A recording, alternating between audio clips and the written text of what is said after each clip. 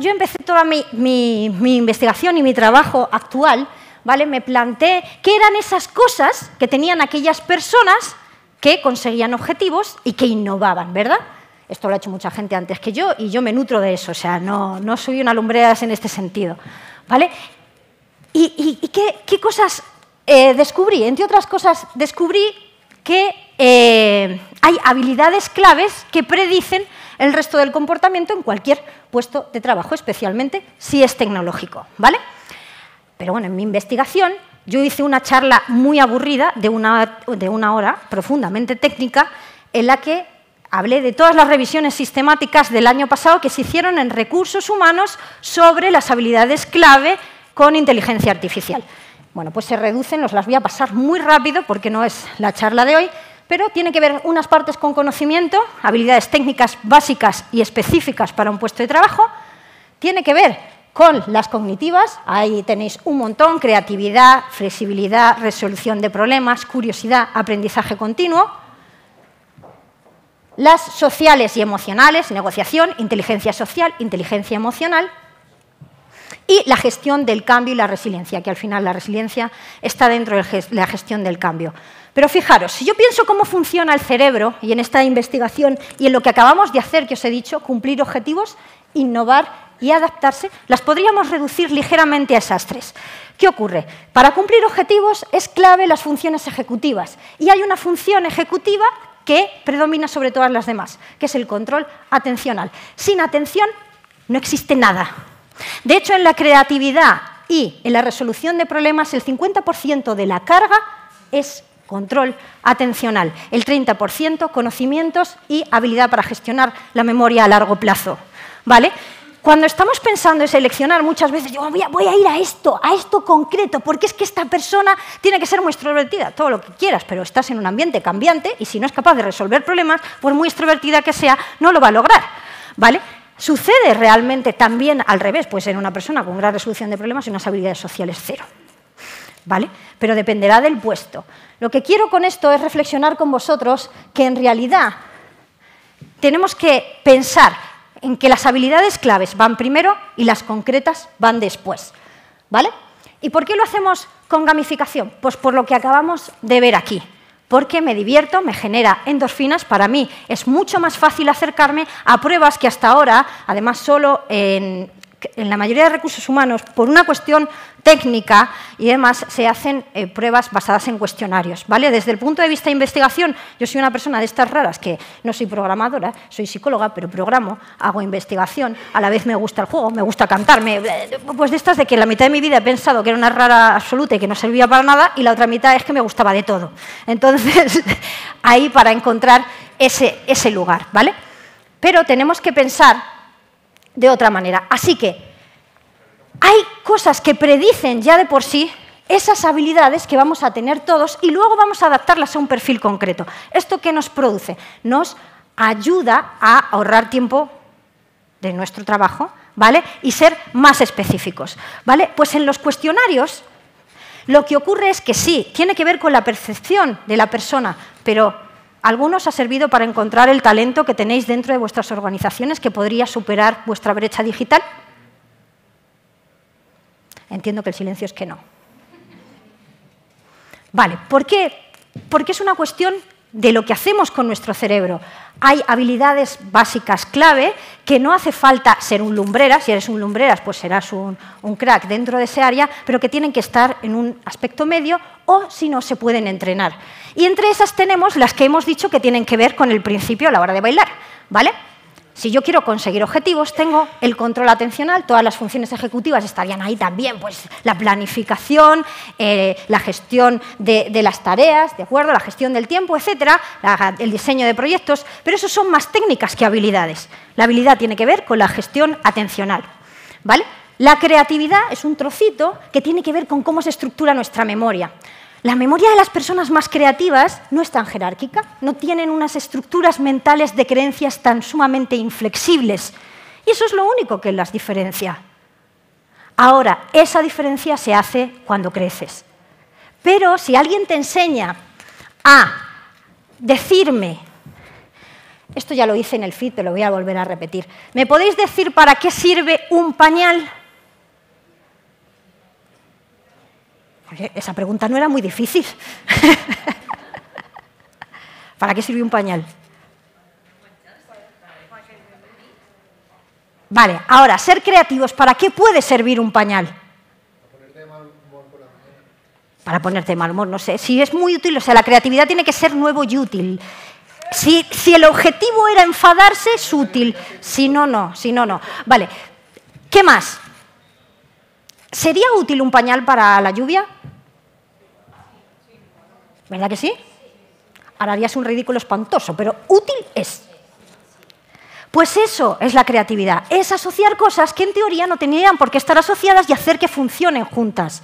Eso es la creatividad. La resolución de problemas es una parte de la creatividad, la parte convergente, en la que yo evalúo cada una de esas ideas para ver si sirven para un propósito concreto. Y además la resolución de problemas nos sirve para predecir eh, para cuestiones lógicas o generar patrones. Esto suena, ¿no? Los perfiles digitales no necesitarían tener estas cosas. ¿Verdad que sí? Y una atención eh, fabulosa y sobre todo una adaptación al cambio. ¿Por qué? Porque hoy es la tecnología de hoy, mañana es la tecnología de mañana y después es la tecnología de después y cada cinco minutos tengo que andar cambiando. Yo hace eh, dos años no sabía programación, en un año aprendí R, ¿vale? que está basado en Python y ahora soy una programadora experta en Godot. ¿Qué ha pasado entre medias? Que me gustaba y que la necesidad apretaba. Esas dos cosas. ¿Vale? ¿Qué, qué sí tengo? tengo capacidad para asociar cosas raras. A mí no me da miedo entrar y decir, bueno, pues, ¿y si utilizamos esas gafas para, hacer un muñequito que le haga reír a, a, todo el mundo según entra por la puerta? Si supierais la idea que se nos ocurrió para el FIT, que nunca ejecutamos, os daría un poco de miedo, porque era, era un poco llevar un cartel hablando de nuestra divergencia y fallo general que se convertía en una virtud e irla pregonando por todo el FIT tenemos una persona que hasta cierto punto un poco Asperger y decía, soy Asperger, tenga usted paciencia con mi incapacidad para detectar los no verbales. Vale, otro con TDAH, discúlpeme, pero a los 150 caracteres he desconectado. ¿Vale? Y esto es fundamental, pero la adaptación al cambio, ahí toda la gestión emocional, lo que hablamos de inteligencia emocional está ahí. Porque a mí decirme a quién no le cuesta profundamente enfrentarse a un cambio. Yo me cabreo, y quien diga lo contrario miente. Cada cambio es un duelo y es una crisis de aprendizaje. Por tanto, cuando esperamos, no, pero es que yo necesito personas que abracen el cambio con los brazos abiertos. Mire usted, no existen. Yo me enfado poco, pero enfadar me enfado. Yo me estreso poco, no, en realidad me estreso mucho, pero lo paso rápido. Antes se lo decía a alguien por ahí, yo soy intensa en todos los pendientes de mi vida. Entonces eso tiene sus cosas buenas sus cosas malas. Ahora respiro más que la media, porque si no moriría. ¿vale?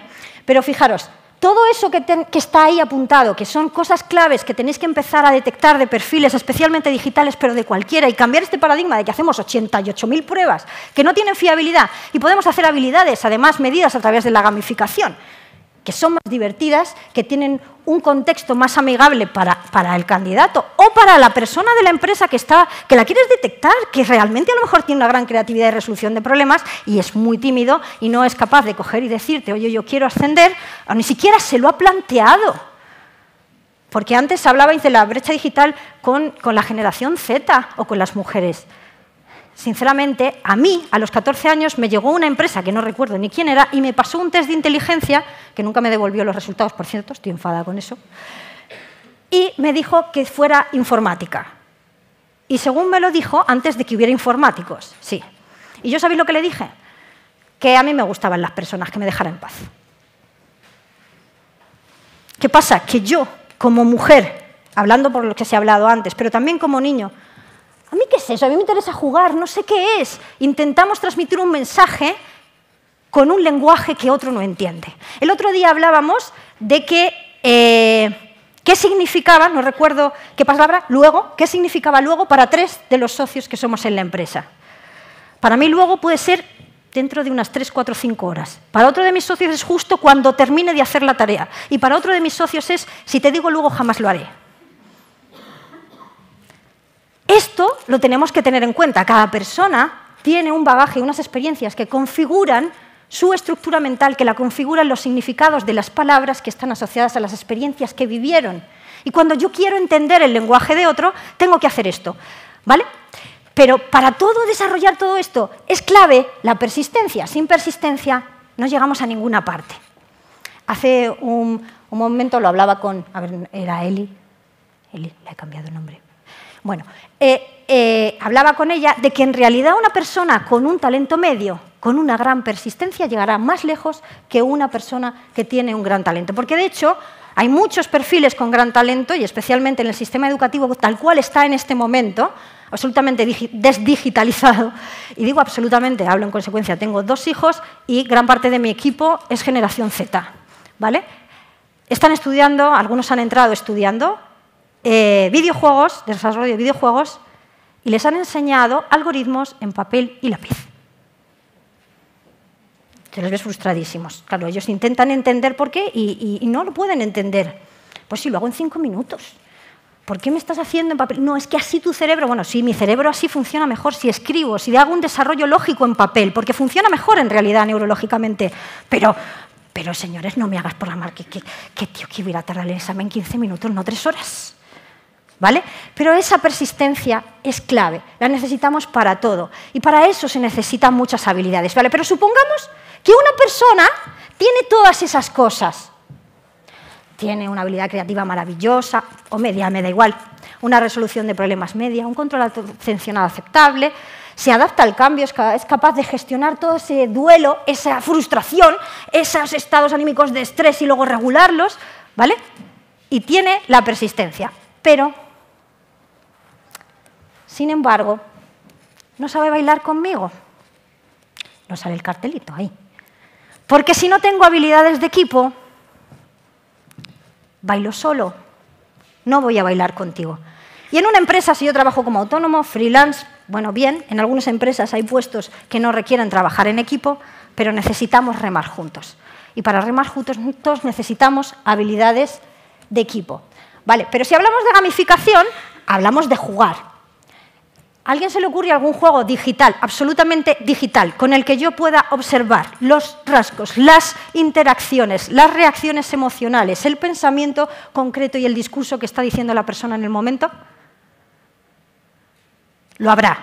Ese es mi propósito. Pero ahora mismo para eso se necesita un juego presencial o digitalizado, es decir, juegas a través de una pantalla, pero estás observando a los sujetos. Entonces, Medimos habilidades sociales con un cuestionario, medimos ética con un cuestionario. Está bien, es la única herramienta que tenemos y es útil, ¿vale? En, el juego que nosotros tenemos hay cuestionarios y están perfectamente puestos, pero no son suficientes. Y si yo quiero detectar al verdadero líder en mi, organización, el verdadero líder suele estar oculto, porque suele ser altamente empático, no le gustan los conflictos y no se va a poner a guerrear con todo el mundo. ¿Vale? Entonces, no siempre tiene la, habilidad o la asertividad para coger y decirle a una persona, a mí me costó mucho, por una alta empatía, decir no. Y esto ahora se hace así, ¿no? con un compañero antes, eh, creo que sois de, Client Group, ¿no? Estábamos hablando justo de eso, que se necesitaba eh, una eh, democratización, pero con un jefe. Un equilibrio entre jefe y líder, porque de hecho, en psicología social se tiene clarísimo que, y además en el juego físico se ve estupendamente bien, cuando no hay unas reglas claras, las, reglas pueden ser el líder, ¿vale? ¿Qué ocurre? Un líder, un antilíder, gente autónoma por ahí y todo el mundo peleándose. ¿Sabéis la regla que rige nuestro comportamiento de manera natural? La animal, señores. El poder, la sumisión o la pertenencia. No hay más. Y si yo no sé eso, no lo puedo cambiar. Pero si lo sé, yo cuando, cuando hablo, ¿a ti por qué se te da tan bien gestionar las emociones? Porque he asumido que soy un animalillo. Sencillamente porque he asumido que lo soy. Y por eso me gusta, a mí me gustan mucho los animales, se enfadan, se no sé qué, pero he aprendido a entenderles, a escucharles, a gestionarlo. ¿Vale? Entonces, luego todas esas habilidades concretas, pequeñitas que necesitamos serán secundarias a estas habilidades clave. Entonces, cuando en vuestra organización vayáis a encontrar a estas personas, necesitáis que se midan habilidades con test de habilidades, que eso lo permite la gamificación. O eso, o te compras el WIS con no sé qué, que vale un dineral cada vez que pones una, que, yo que he trabajado en psicología educativa decía, me arruino antes de recuperar el dinero que invierto. ¿Vale? Tenemos que generar estructuras que nos permitan medir con validez científica valores clave del rendimiento de un equipo y de las habilidades de un equipo. Y cuando digo esto es un código de observación medido que funcione y que detecte. En, nosotros hay una... Bueno, ahora paso a eso. Por eso, en conclusión, si estamos hablando de perfiles, ¿vale? Tenemos que pensar que las habilidades blandas, y especialmente en tiempos de lo he puesto porque está de moda, pero en realidad esto tiene que ver con cómo funciona el cerebro, no tiene que ver con una corriente concreta, ¿vale? Teniendo en cuenta, entre comillas, en la ciencia nada es absoluto y queda mucho por descubrir del cerebro. Son las mismas para todos los puestos, aunque tengan unas más relevancia que otras. Pues hay en puestos administrativos y de gestión que yo no necesito quizás innovar, pero sí necesito adaptarme, sí o sí, y sí necesito llegar a mis objetivos. Y la atención, ese control atencional, tiene mucho que ver con las emociones. Vosotros prestáis atención por el tono que he utilizado, porque el momento que os he puesto y os he levantado, y eso todo es emocional.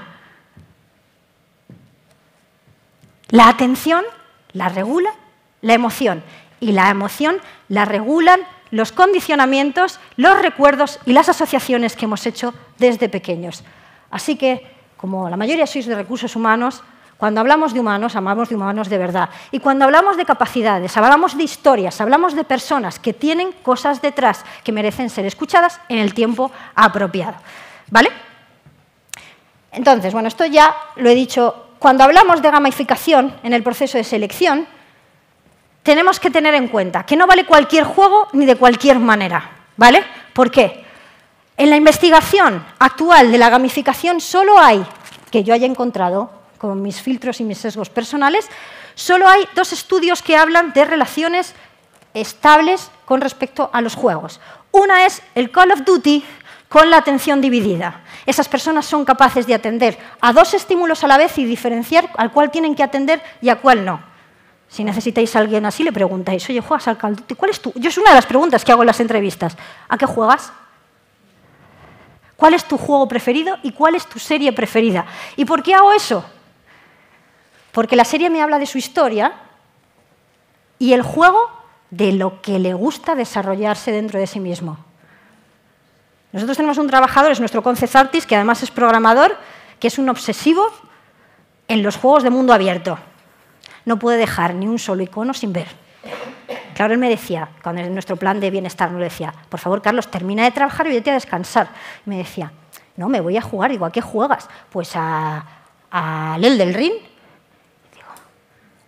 Carlos, que no desconectas, chiquillo, que eso requiere estrategia 24/7 y requiere observación y atención máxima 24/7. Así que por lo menos 15 minutos te me vas a dar un paseo y hablas con tu novia o, o te pones a mirar a los pajaritos. ¿Vale? Pero quitando eso y luego el Minecraft se ha hecho un estudio de creatividad en la que se puede medir la creatividad a través del Minecraft, pero al final siempre está basado en la prueba de usos alternativos de Guilford ¿vale? que al final ha hecho lo que os he hecho hace un momento yo con el pañal.